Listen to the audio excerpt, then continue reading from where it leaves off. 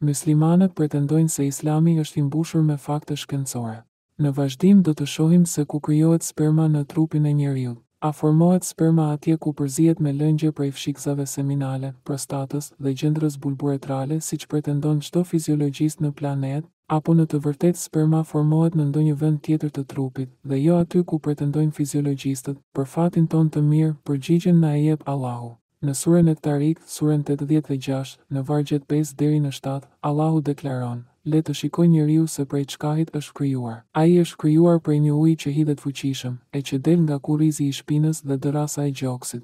Vini re se në të kundërt me çdo libër anatomie dhe fiziologjie moderne, lëngu shpërthyes, domethënë sperma del prej zonës ndërmjet shtyllës kurrizore dhe brinjëve. Fakt interesant është se Islami mëson gjithashtu se në spermë ndodhen qenie njerëzore në miniaturë, dhe se këta qenie njerëzore në miniaturë janë përgjegjës për atë që dëgjojnë në spermë. Tek Buhariu, në hadithin me numër gjashtë mijë e pesëqind e pesëdhjetë e shtatë lexojmë, Transmetoi Enes bin Malik, Profeti tha, Allahu do t'i thotë personit që do të ketë ndëshkimin minimal në zjarrin e ferrit në Ditën e Ringjalljes, Nëse do të kishe gjëra të barabarta me gjithçka që është në tokë, a do ta shpaguaje veten prej ndëshkimit me to? Ai do të përgjigjej, Po.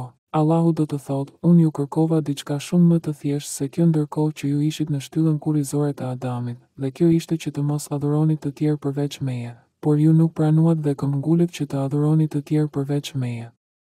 Pra të gjithë ne, dikur kemi qenë në spermën e shtyllës kurrizore të Adamit, dhe në këtë kohë Allahu na tha të mos adhurojmë të tjerë përveç Tij. Por me shumë mundësi ne nuk e dëgjuam, sepse nuk na ishin formuar ende veshët. Mirëserdhët në Islam. Në fenë ku Zoti i cili nuk kupton fiziologjinë elementare ju dërgon në ferr, sepse nuk keni kuptuar leksionin teologjik të Tij, kur ju ishit në spermën që nuk ekziston të shtyllës kurrizore të Adamit.